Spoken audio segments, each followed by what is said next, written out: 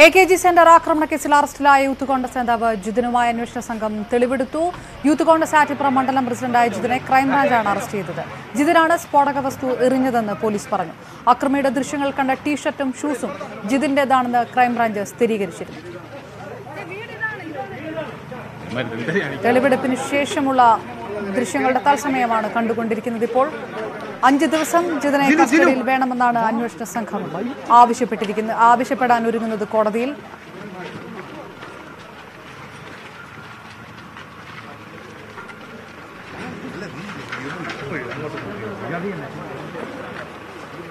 Youth കോൺഗ്രസിന്റെ ആറ്റിപ്ര മണ്ഡലം പ്രസിഡന്റായിരുന്ന Jithin A K G centre ആക്രമണ കേസുമായി ബന്ധപ്പെട്ട് അറസ്റ്റിലായിരിക്കുന്നു. അല്പം മുൻപാണ് തെളിവെടുപ്പ് നടന്നത്.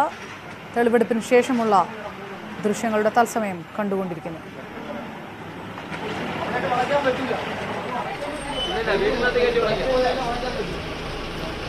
ഉമേഷ് ബാലകൃഷ്ണൻ വിവരങ്ങളുമായി ചേർന്നു ഉമേഷ് തെളിവെടുപ്പ് പൂർത്തിയായോ? അതിന്റെ ഭാഗമായി തന്നെയുള്ള നടപടിക്രമങ്ങൾ തുടരുകയാണോ ഇപ്പോഴും?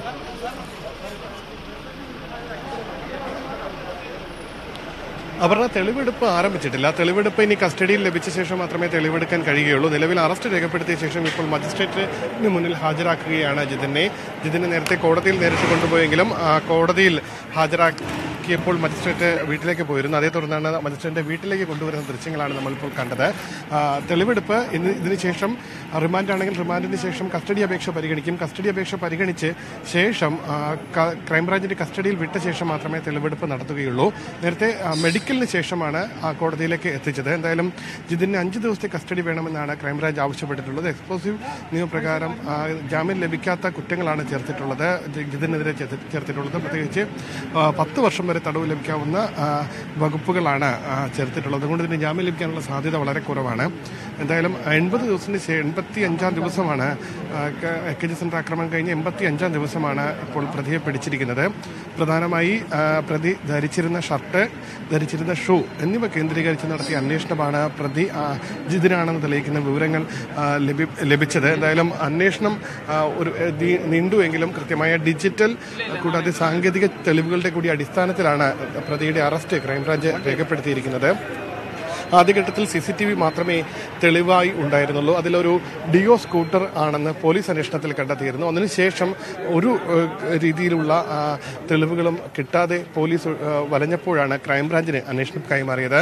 തുടർന്ന് സി സി ടി വി കേന്ദ്രീകരിച്ച് ഒരു സംഘവും ഈ വാഹനം കേന്ദ്രീകരിച്ച് മറ്റൊരു സംഘവും കൂടാതെ ഇയാൾ ഈ പ്രതി എന്ന് കരുതുന്ന ആൾ ധരിച്ചിരുന്ന ഡ്രസ്സും മറ്റ് പ്രദേശത്തെ പാർട്ടിയുമായി പാർട്ടികളുമായി ബന്ധപ്പെട്ട സംഘർഷങ്ങൾ ഉണ്ടായ സാഹചര്യത്തിൽ പ്രതികളായി ആയി വന്നവരുടെ വിവരങ്ങളും ഫോൺ രേഖകളും എല്ലാം കേന്ദ്രീകരിച്ച് നടത്തിയ അന്വേഷണത്തിനൊടുവിലാണ് പ്രതി ജിതിനാണെന്നുള്ള സൂചനയിലേക്ക് എത്തിയത്.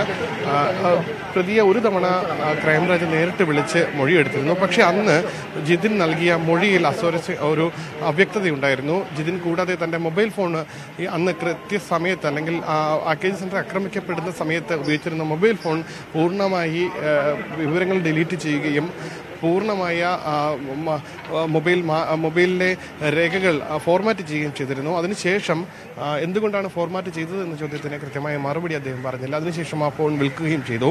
അതോടുകൂടിയാണ് പോലീസിന് കൂടുതൽ സംശയം ഉണ്ടായത്. എന്തായാലും ഒടുവിൽ ഈ അദ്ദേഹം ധരിച്ചിരുന്ന ടീഷർട്ട് ടീഷർട്ടിന്റെ ബ്രാൻഡ് നോക്കി ആ ബ്രാൻഡ് വിൽക്കുന്ന കടകളിലേക്ക് കേന്ദ്രീകരിച്ച് അന്വേഷിച്ചു. അപ്പോഴാണ് ആ ബ്രാൻഡ് രണ്ടായിരത്തി ഇരുപത്തിരണ്ട് ജൂലൈ മെയ് മാസത്തിൽ മാത്രമാണ് ഇറങ്ങിയത് കണ്ടെത്തിയത്. മെയ് മാസത്തിൽ ഇറങ്ങി അപ്പോൾ മെയ് മുതൽ ജൂലൈ ഒന്ന് വരെ ഈ ടീ ഷർട്ട് വാങ്ങിയവരുടെ കണക്ക് ശേഖരിച്ചു. അങ്ങനെ ആ കണക്ക് ശേഖരിച്ചപ്പോഴാണ് ജിതിന്റെ നമ്പർ ഈ വാഹനം ബിൽ ഈ- ടീ ഷർട്ട് ബില്ല് ചെയ്യാൻ സമയത്ത് ജിതിൻ ജിതിന്റെ നമ്പർ നൽകിയിരുന്നു. കൂടാതെ സി സി ടി വി പരിശോധിച്ച് അതും തെളിവായി സ്വീകരിച്ചു. കൂടാതെ ജിതിന്റെ ഷൂ ആ ഷൂ ഉപയോഗിച്ച് ഫേസ്ബുക്കിൽ പോ പോസ്റ്റ് ഒരു ഫോട്ടോ പോസ്റ്റ് പോസ്റ്റ് ചെയ്തിരുന്നു. അതും ശാസ്ത്രീയമായി പരിശോധിച്ചു. ഇത് രണ്ടും ശാസ്ത്രീയമായി ഫോറൻസിക് പരിശോധന നടത്തി. അത് ഈ പ്രതി ആ സമയത്ത് ബൈക്കിലുണ്ടായിരുന്നപ്പോൾ ഉപയോഗിച്ച ഡ്രസ്സും ഷൂവും തന്നെയാണെന്ന് തിരിച്ചറിഞ്ഞതിന്റെ അടിസ്ഥാനത്തിലാണ് പ്രതി ജിതിനാണ് എന്ന് ക്രൈംബ്രാഞ്ച് ഉറപ്പിക്കുകയും അറസ്റ്റിലേക്ക് നീങ്ങുകയും ചെയ്തത്. വിവരങ്ങൾ നൽകിയത് ജിതിനുമായി അന്വേഷണ സംഘം മജിസ്ട്രേറ്റിന് മുൻപാകെ ഹാജരാക്കാൻ എത്തിയതിന്റെ തത്സമയ ദൃശ്യങ്ങളാണ്. കണ്ടത്